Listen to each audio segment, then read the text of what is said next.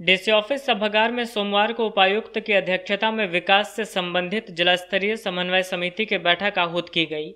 बैठक में Covid 19 vaccine, सामाजिक सुरक्षा, पेंशन जल जीवन मिशन, एनआरएलएम, मनरेगा के अंतर्गत संचालित विभिन्न योजनाओं, पीएम आवास, इंदिरा आवास, बाबा साहब, भीमराव अंबेडकर आवास, पीडी जनरेशन, जॉब कार्ड, आवास प्लस, बिरसा हरित ग्राम योजना, जेएसएलपीएस व अन्य योजनाओं की समीक्षा की गई। बैठक में उपायुक्त द्वारा मनरेगा के तहत विभिन्न योजनाओं का सभी प्रखंडों में ज़्यादा से ज़्यादा चयन कर प्रारंभ करने व गति देकर पूर्ण करने का निर्देश दिया गया। बैठक में दीदी बाड़ी योजना, सोखता गड्ढा निर्माण, सिंचाई कूप, आंगनबाड़ी निर्माण योजना, कंपोस्ट गड्ढा के लक्ष्य व प्राप्ति की समीक्षा कर सुधार के निर्देश दिए गए। इस संबंध में सभी प्रखंड विकास पदाधिकारी को प्रखंड भ्रमण कर योजना की समीक्षा करने का निर्देश दिया गया। इस दौरान उपायुक्त ने कहा कि मनरेगा में प्राप्त लक्ष्य के अनुरूप सभी योजनाओं को शुरू कराएँ।